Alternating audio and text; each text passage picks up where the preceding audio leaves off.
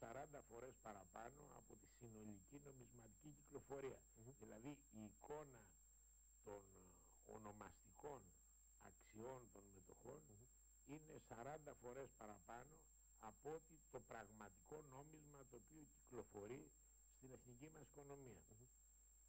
Επομένως έχουμε μια πλασματική κατάσταση και το στρεβλό στο ελληνικό χρηματιστήριο σαν θεσμό ακόμα είναι το, είναι το ότι δεν έχουμε καθόλου στοιχεία ανάπτυξης. Ενώ υποτίθεται ότι διαφημιζόμενο, γιατί το πολιτικό μας σύστημα το διαφημίζει βέβαια το χρηματιστήριο και μέσω του χρηματιστηρίου αντλεί επιχειρήματα σημαντικά για την ανάπτυξη ας πούμε της οικονομίας. Η στρεβλότητα είναι ότι δεν έχουμε αντίστοιχες αναπτύξεις. Δηλαδή έχουμε μειωμένες βιομηχανική παραγωγή, έχουμε μειωμένη γεωργική παραγωγή και το κυριότερο που αν υποτίθεται ότι θα μπορούσαμε να οδηγηθούμε σε μια ανάπτυξη έχουμε αύξηση ανεργίας. Και όχι μόνο εμείς και ένα μεγάλο μέρος των χωρών της Ευρωπαϊκής Ένωσης. Δηλαδή κοντεύει η φανερή ανεργία να φτάσει στο 12%. Άρα δεν είναι αναπτυξιακός θεσμός. Δεν παράγει αναπτυξιακά αποτελέσματα. Και παρουσιάζει αυτή όπως είπα λίγο πριν την πλασματική εικόνα μέσα στις ιδιομορφίες της τρευλότητας τις οποίες έχει η Ελλάδα είναι και το ότι το 40% περίπου, ίσως κάτι λιγότερο, των συναλλαγών γίνονται με αέρα. Δηλαδή δεν έχουμε καμία, κανένας είδους μεταφορά, ούτε καν λογιστική αγγελία. Δεν καταγράφεται κάτι. Υπάρχει αντίκρισμα. Υποτίθεται ναι, ότι θα καταβληθούν τα χρήματα, δεν ξέρουμε αν καταβάλλονται ή όχι πολλές φορές δεν καταβάλλουν. σε πόσες, περισσότερες, σε, σε, σε πόσες περιπτώσεις καταβάλλονται ή δεν καταβάλλονται. Το σύνηθες πάντως είναι έτσι όπως είναι υπολογισμένο, είναι γύρω στο 35. Μπορεί να κάνω λάθος, σας είπα δεν μπορώ να τα παρακολουθώ, ναι. άλλωστε δεν είμαι παίκτης του χρηματιστηρίου. Ναι. Σας είπα και προχθές μου αρέσει το παιχνίδι, αλλά δεν, μου αρέσει το χρηματιστήριο. Η εισαγγελική παρέμβαση, ποιες εκδοχές έχει; Κοιτάξτε τι μπορεί να συμβαίνει. Ναι. Πρώτον να δίνονται πλασματικά στοιχεία από εταιρείες οι οποίες δεν έχουν πραγματικό αντίκρισμα καθόλου. Δηλαδή μπορεί να μην έχουν ούτε τηλέφωνο. Mm Μπορεί να μην έχουν ένα μπινκ στο γραφείο τους. Και επομένως να παραπλανούν. Το δεύτερο είναι να μην γίνονται εγγραφές από τα χρηματιστηριακά γραφεία των ίδιων των συναλλαγών. Σε αυτές τις περιπτώσεις έχουμε απάτη, έτσι δεν είναι. Σε αυτές τις περιπτώσεις έχουμε απάτη ίσως και πλαστογραφία. Δηλαδή όπου έχουμε χρηματιστηριακή εταιρεία η οποία δεν καταγράφει τις συναλλαγές, ε, τότε στην περίπτωση αυτή μπορεί να έχουμε και πλαστογραφία. Mm -hmm. Δηλαδή να γράφετε κάτι άλλο ή να μην γράφετε τίποτα. Αν δεν γράφετε τίποτα δεν έχουμε απλώς απάτη. Mm -hmm. Επομένως τα σημεία προς τα οποία βλέπω να κινείται εξαιτίας αυτής της τρευλότητας η εισαγγελική έρευνα είναι απάτες οι οποίες γίνεται από εταιρείες οι οποίες έχουν μπει με τρόπο παραπλανητικό στο χρηματιστήριο και δεύτερον από συναλλαγές οι οποίες γίνονται με χρηματιστηριακά γραφεία και δεν αποτυπώνουν το ύψος συναλλαγής. Δηλαδή την περιουσία, έστω και λογιστική, αυτών οι οποίοι συναλλάσσονται. Έχουμε αρκετό περιθώριο ούτως ώστε να μπορέσουν πράγματι να μην γράψουν. Εμένα μου έχουν τύχει υποθέσεις στο παρελθόν. Mm -hmm. Μην νομίζετε ότι η εισαγγελική έρευνα είναι κάτι το οποίο απασχολεί τώρα. Τώρα απασχολεί μαζικότερα και μετά την κυβερνητική παρέμβαση. Αλλά έχουμε φαινόμενα πράγματι όπου έχει γίνει προσπάθεια απατών δηλαδή να κλαπούν αυτές οι αξίες από χρηματιστηριακά γραφεία και να μην πληρώσουν τίποτα. Από άτομα δηλαδή που δεν παρακολουθούσαν mm -hmm. τις συναλλαγές τους mm -hmm. Και στηριζόντουσαν μέσα σε αυτόν τον ξέφρενο τρόπο που υπήρχε σχέση με τις συναλλαγές του χρηματιστήριο στην εμπιστοσύνη σε αυτά τα γραφεία. Κύριε Παπάς, ευχαριστούμε πάρα πολύ. Και εγώ σε ευχαριστώ. Η τελευταία συζήτηση της ημέρας της εκπομπής μάλλον θα γίνει με τον πρώην πρόεδρο της Νέας Δημοκρατίας, τον κ. Μιλτιάδη Εύα, ο οποίος βρίσκεται στο γραφείο του και θα συνδεθούμε αμέσως τώρα με τη δική τη. Και πρόεδρε, καλή σας μέρα. Καλημέρα. Ελπίζω να είστε καλά. Να σας ενημερώσω, α, μια και φαντάζομαι δεν έχετε τον, ε, την ευκαιρία εκεί, καθώς περιμένετε να συνομιλήσουμε, ότι έγινε κι άλλος μετασυσμό ισχυρός στην Ταϊβάν μεγέθους 6,8 της κλίμακας Ρίχτερ. Ας αφήσουμε τους ε, σεισμούς και τους μετασυσμούς και να πάμε στους, ε, το Αγέλαδο και να πάμε στους σεισμούς του χρηματιστηρίου. Το ξέρετε το χρηματιστήριο, ξέρετε την αγορά γενικότερα και θα μου πείτε σε τι θεωρείτε ότι οφείλεται όλη αυτή η ιστορία που ε, ζήσαμε την εβδομάδα που πέρασε και κατά πόσο υπάρχει περίπτωση να ανακάμψει όλη αυτή η ιστορία την εβδομάδα που έρχεται καταρχήν θα πιστεύω ότι πρέπει να δώσουμε την διάσταση του ρόλου που πρέπει να διαδραματίζει το χρηματιστήριο στην οικονομική ανάπτυξη μιας χώρας. Όπως γνωρίζετε, μέχρι το 1985 οι, οι επιχειρήσεις, όλες οι επιχειρήσεις, βιομηχανικές, εμπορικές, ήταν υπέρμετρα α, δανειοδοτημένες. Εστήριζαν δηλαδή την ανάπτυξή τους, την αύξησή τους σε ξένα κεφάλαια. Είχε φτάσει ο βαθμός δανειοδοτήσεως των επιχειρήσεων στο 85-90% δηλαδή σε 100 δραχμές ή 90 ήταν δανεισμός. Με την αύξηση των επιτοκίων οδηγήθηκαν και έγιναν οι περισσότερες προβληματικές. Συνεπώς μετακινήθηκαν από τον δανεισμό στην αύξηση του μετοχικού κεφαλαίου μέσω της κεφαλαγοράς.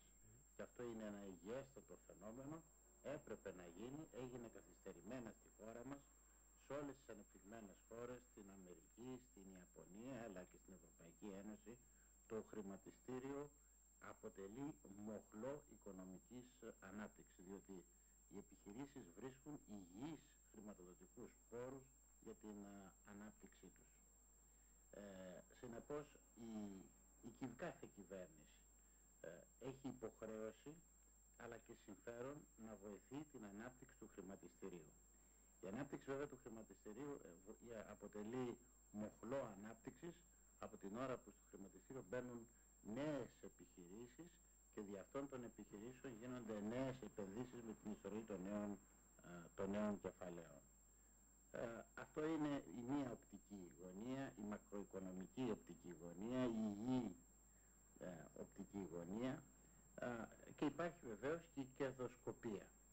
Τώρα το πώς θα διαμορφωθεί το χρηματιστήριο από εδώ και πέρα υπάρχει μια λαϊκή παροιμία που λέει κάνε με προφήτη να σε κάνω πλούσιο.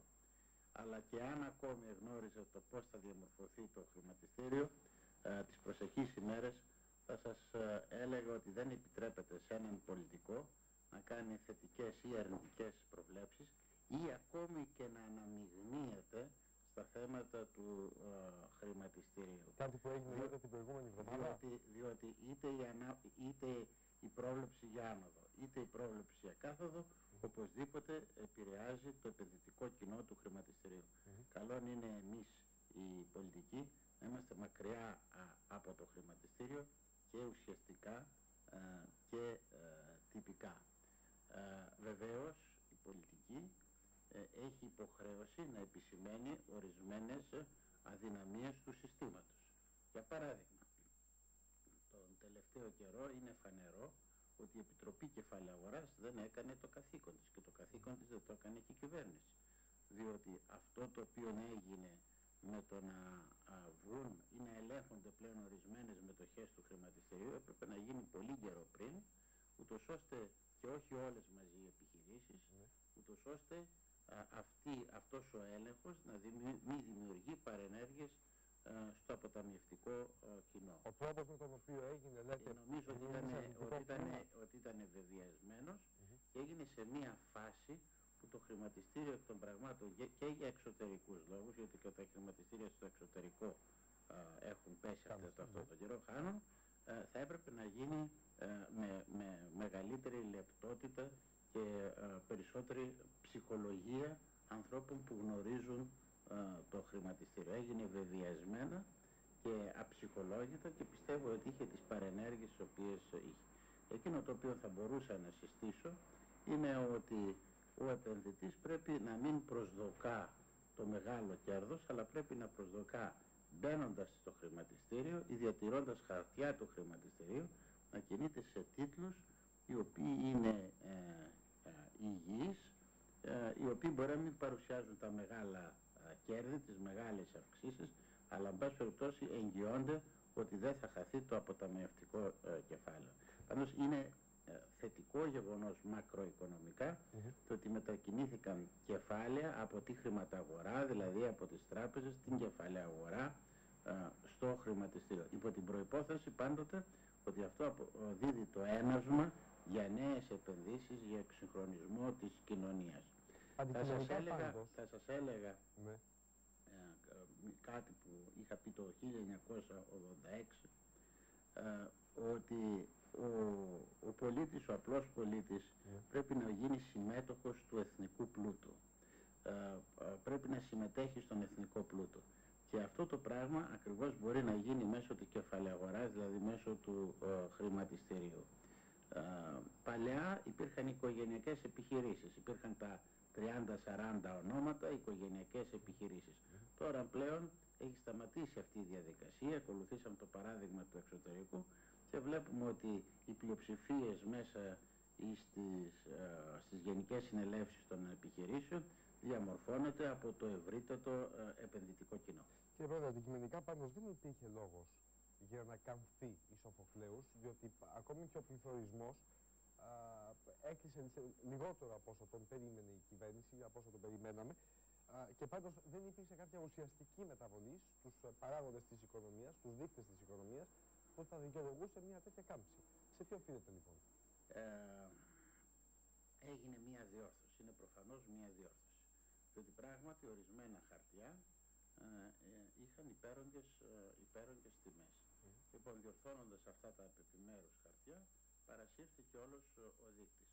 Αλλά ε, εγώ αυτό που συνιστώ είναι ε, ψυχραιμίας στους επενδυτές ε, και να μην ακολουθούν την πεπατημένη, διότι πάλι θα βγουν χαμένοι οι μικροαποταμιευτές. Αυτοί δηλαδή οι οποίοι έχουν επενδύσει μέχρι ένα εκατομμύριο δραχμές στο χρηματιστήριο και ωφελημένοι θα βρουν οι, οι μεγαλοκεφαλαιούχοι οι οποίοι κατέθεσαν τα πολλά λεφτά λέει ότι οι μικροεπενδυτές χάνουν από κεφάλαιο ή κέρδη.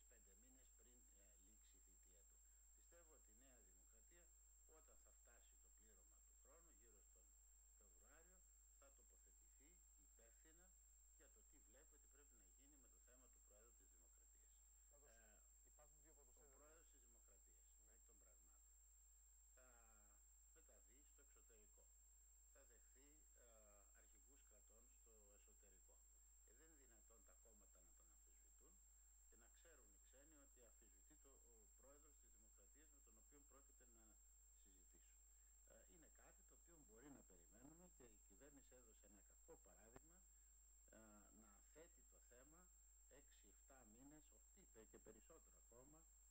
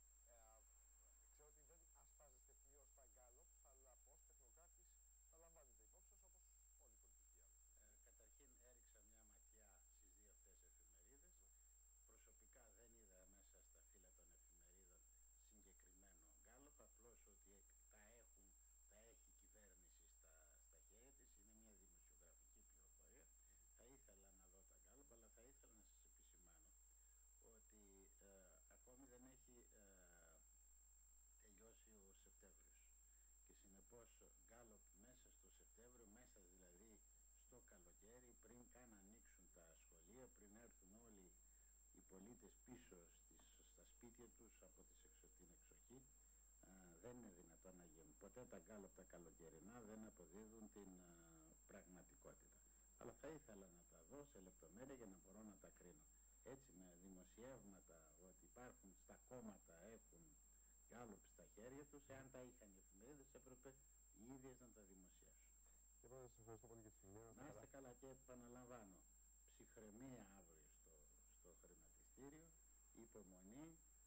και να μην παρασύρονται είτε από τις ανωδικές τάσεις είτε στις καθοδικές και να φροντίσουν οι πολίτες να παίζουν με το περίσσευμά τους και όχι δανειζόμενοι από το τραπεζικό σύστημα διότι αυτό μπορεί να αποβεί ε, μοιραίο.